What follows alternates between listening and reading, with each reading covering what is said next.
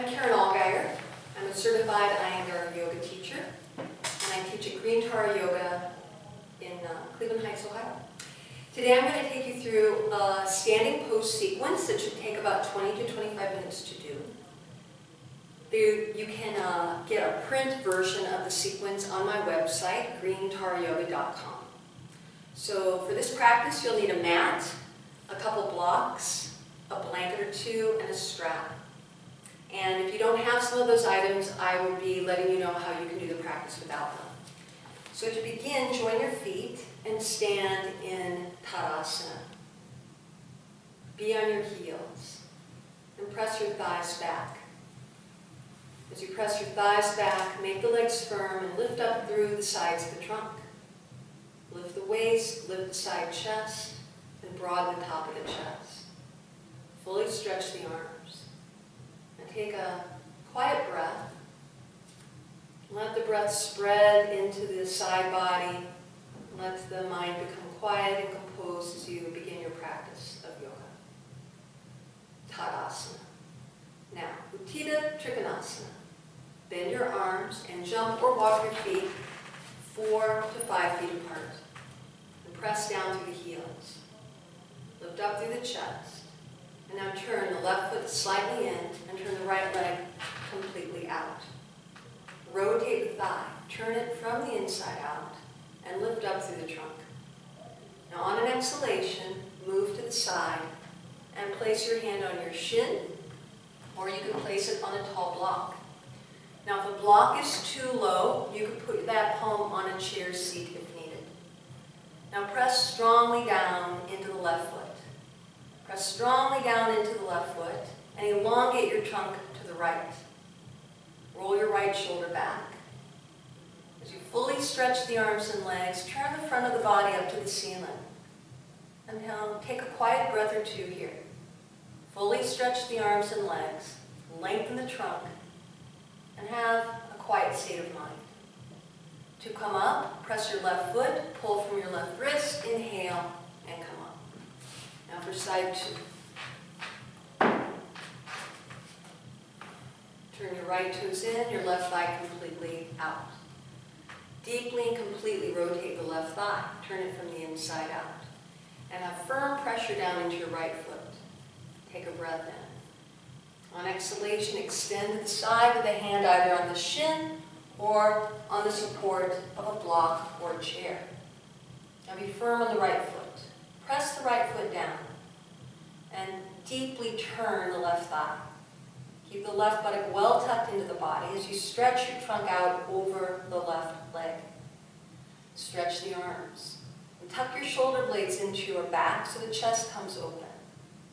Now take a couple soft breaths here. Spread in all directions in the pose with quiet breath and a quiet mind. Now push down into the right foot, pull from the right wrist, inhale and come up. Turn the feet and bring the feet back together. Be in Tadasana. So use Tadasana to improve your alignment, but also Tadasana can be a place to get the mind calm and composed. Or you can clear the blocks off your mat. Our next pose is Virabhadrasana 2, Warrior 2.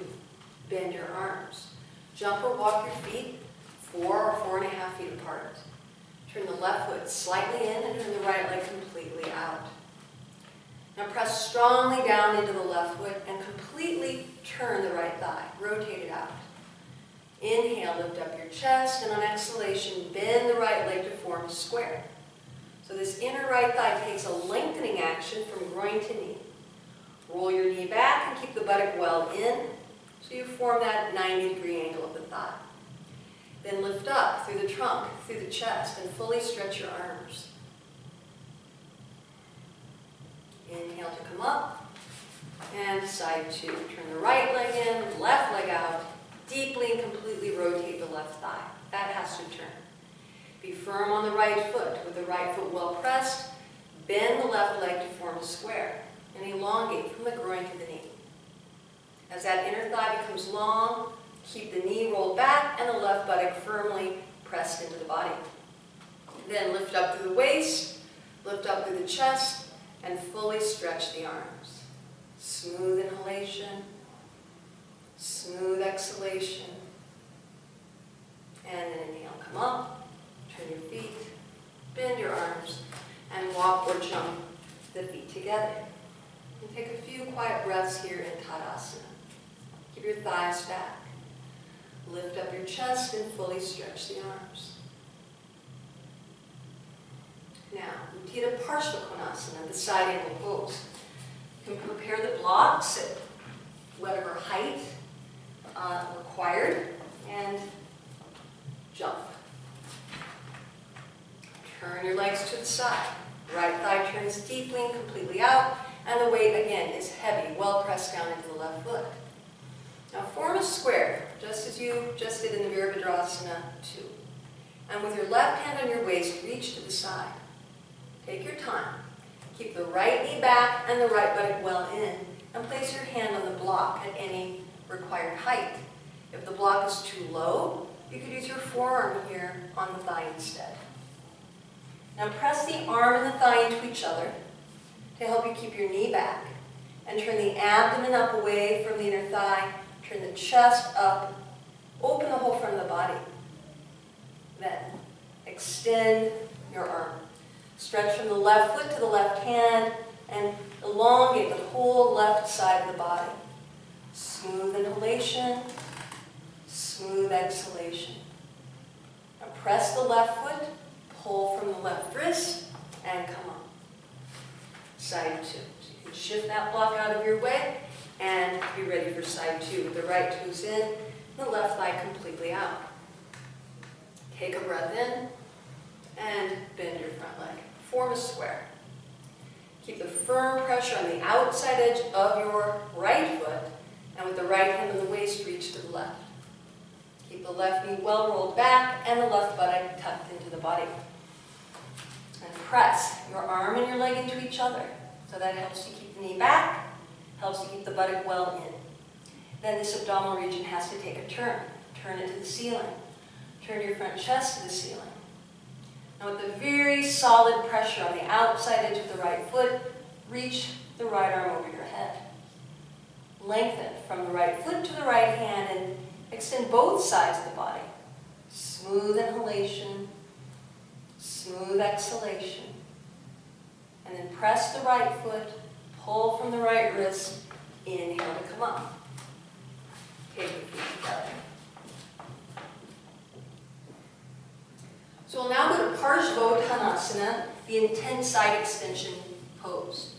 So some of you know how to do that pose. Put the hands in Surya Namaskar. So if that is known to you, you should do it. Another alternative is hands in the waist, and a third alternative is the hands to the bricks. So Start with your hands on the waist or in that reverse prayer position as I just showed, and step your feet out this time. Now the step is more three and a half to four feet. Turn the left thigh in a little more deeply, about 45 degrees, and turn the right leg completely out to face the side. The back hip, that's the left hip, has to roll to the front. So turn the left thigh in, bring the left hip forward, and face the side wall.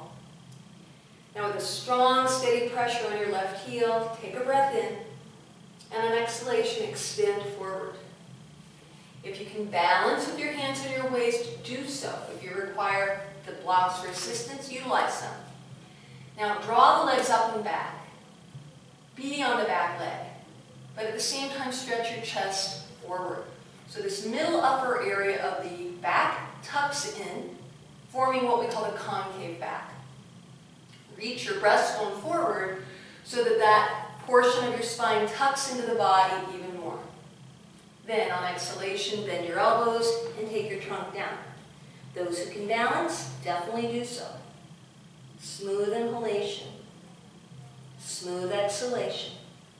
And now press into the left foot, extend the spine, and come all the way up.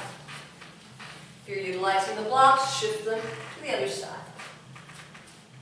Then turn the right thigh in, right foot in about 45 degrees, turn the left leg out, and face the side wall.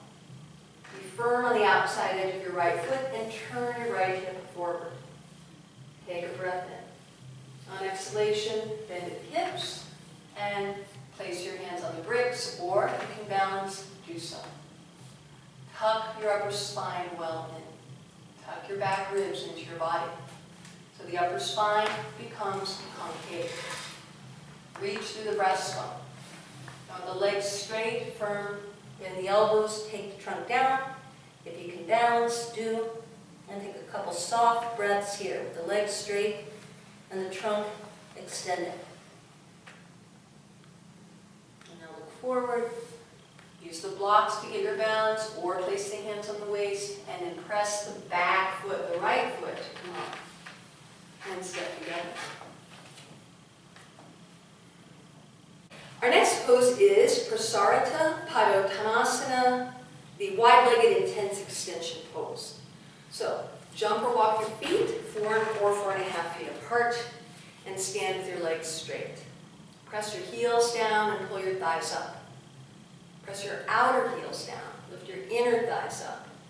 And continue that lift up through the abdomen, up through the sides of the trunk, up through the sides of the chest. Take a breath in. Now, on exhalation, with straight legs, bend from the hips and place your palms on the blocks, which should be about shoulder width. If that's easy, the legs are straight, the upper back is concave, you can lower those blocks. Take a few breaths here with the breastbone forward and outer hips back. Keep the legs firm. Now, take the trunk down and support the head. You can adjust the blocks to any arrangement so that the head can be supported. And if that's not possible, that's fine. The hands should press on the floor with the elbows rolled in, and look how I lift the shoulders up. If the hands aren't coming to the floor, you can hold your calves. But in either case, look how the shoulders take a lift. So everyone lift your shoulders up, let your head be supported, and let the breath be soft and steady. Fully stretch your legs. Don't allow them to go slack. Keep the legs firm. Let the trunk release down. And lightly but definitely lift the shoulder blades up. Smooth inhalation, smooth exhalation. Good. Now look forward. Use the blocks and make the spine concave again. Extend the trunk forward. Step your feet slightly in, and with the hands in the waist, stand all the way up. Return to Tadasana. Now, Uttanasana, the intense extension pose, is quite similar to the pose we just did, but now the feet will be about hip width. So have the blocks in front of you, hands on the waist. With straight legs, lift up the chest and take a nice breath in. Exhale, bend at the hips and place the palms on the blocks. Again, if that can be done well with straight legs and a concave upper spine, you can lower the height of the blocks. Pull your legs up. Keep your thighs firm. Lift the abdominal area and broaden it. And stretch the whole front of the spine forward. Breastbone forward, collarbones forward, as the shoulder blades move back. Then with the legs straight, take the trunk down. You can use the blocks if you need them. If you don't, fingertips can come on the floor. Fully stretch the legs. Keep them firm. Lift the inner thighs up. Lift the groins up. Lift the abdomen up. And then let the whole side body release down. The waist, the ribs, the armpits. Keep a light lift of the shoulder blades so you can experience the weight of the head. Smooth inhalation, smooth exhalation. Now stretch your chest forward. Use the blocks as needed to create that concavity of the upper spine. And then with the hands on the waist, stand all the way up. Dog pose now. Adho Mukha Svanasana. So facing to the side, bend forward, place your palms, and walk your feet back to Adho Mukha Svanasana, downward facing dog. Now fully stretch the arms and legs. Pull the thigh muscles up, and then press the front thighs to the back thighs, the back thighs into the space behind you. Fully stretch the arms and draw the outer upper arms in. So the arms, the elbows become quite firm and straight. So then with that straight arm, straight leg, take the upper spine in. So that shoulder blade region, back rib, rib region, tuck that area well into your body, and then stretch back even more. Inhale, and an exhalation, move back, move back. Move the thighs back so much that you lighten the load on the arms. Inhale, and an exhalation, stretch up and back from the armpits all the way up and back to the sides of the hips. One more soft, easy, elongated breath. And then come on down. All right, our next pose is Bharadvajasana, a twist named after a sage. And for this one, you'll need a trifold blanket. So from this blanket shape, I fold in thirds. And depending on your hips, you may need a second or third blanket. Sit on the end of the blanket. And then bend your left leg. Lean on your right hand and place that left leg in Virasana. Shift over a little so your right buttock is supported, your left buttock is not. And then take the sole of the right foot and tuck it under the left shin near the left ankle. So the thighs are pointing ahead. Take the outer left hip down so that the pubis and the hips are level. Then inhale, raise up the arms. Exhale and turn to the side, Bharadvajasana. See that this outer left hip is grounded. It should not fly up. Take the outer left hip down, the left groin down, and then turn to the right. Turn your abdomen left to right. Turn your chest left to right. And see how the bend of the elbows helps you turn. So bend your elbows. Press with the left hand on your thigh. Press on the blankets with your right hand. And turn your front chest to the back of the room, your back chest to the front of the room. Inhale and get tall. And exhale and turn. And then come back to the front and unfold the right leg, Uh, unfold the left leg, and shift over for side two. Then the right leg, lean on your left hand and place that leg in Virasana. Shift over so that the left buttock is supported, the right buttock is not. And put the sole of the left foot under the right shin near the ankle. Descend the right hip. So the hips are level, the pubis is level. Then inhale, lift up. Exhale and turn. So press down with the left hand to get more lift, and press with the right hand to get more turn. As you turn, observe carefully the right buttock, the right groin.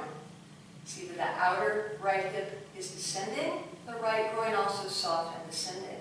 And then without disturbing that, bend your elbows and turn. Tuck your shoulder blades well into your back to keep the chest lifted. And as you bend the elbows, turn your front chest to the back of the room, your back chest to the front of the room. Inhale, become tall. Exhale and turn. And release. Unfold the left leg. Unfold the right leg. And relax. All right. We're now reclining for Supta Padangusthasana. That is a reclining big toe pose. Now for this one, you can use a yoga strap, and if you don't have a yoga strap, I'll show you what you can do instead. Lie on your back with both knees bent and your feet flat on the floor.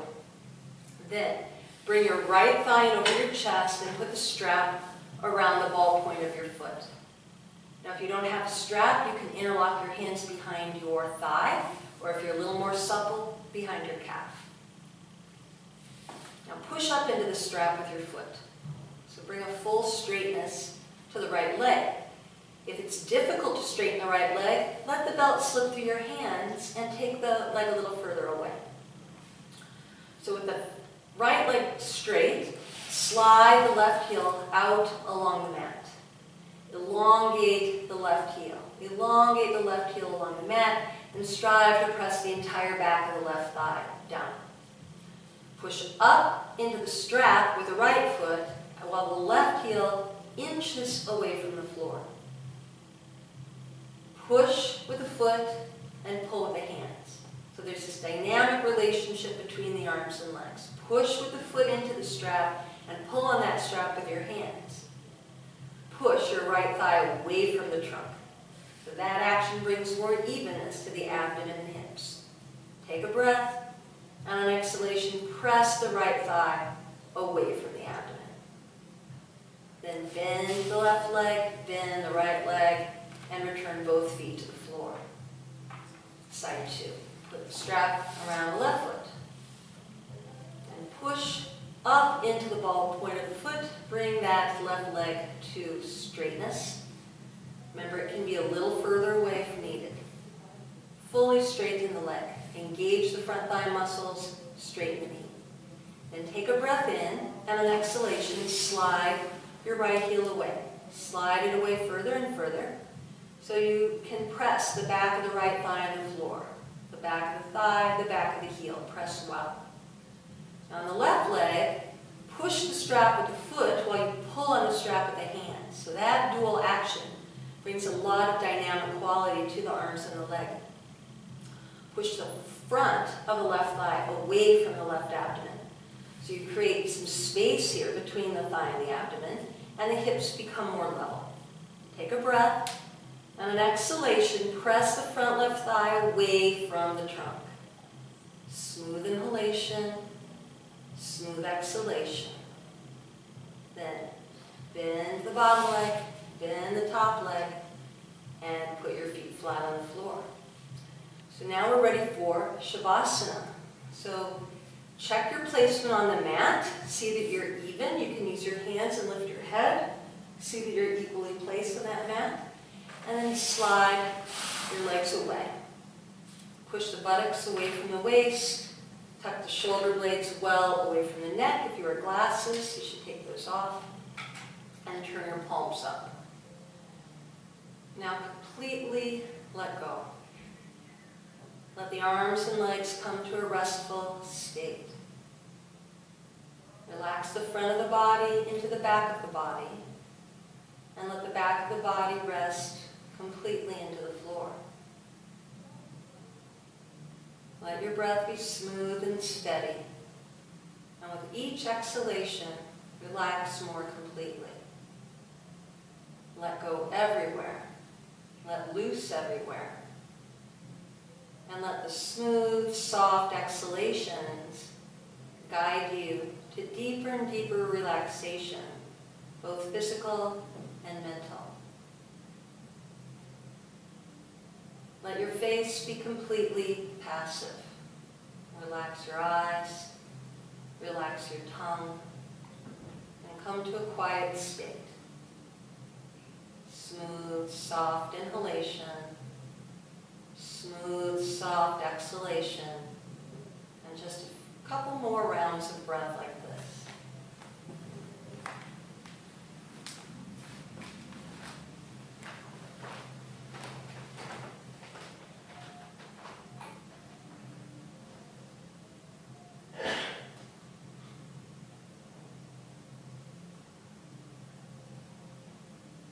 Take a little bit of a deeper breath and exhale, a long, deep, soft exhalation. And bend your legs. Take one arm overhead. Roll onto your side. And slowly come on up. Fold your palms. Reverence to the divine within you. Namaste. Thanks so much for joining me in this standing pose practice. So if you want uh, to turn this into a longer practice, you could simply do every post twice. You did them once, you could do them twice, get a little more duration in your practice. And again, you can find a print uh, version, a file that you could print uh, at greentarayoga.com. Thanks everybody, namaste.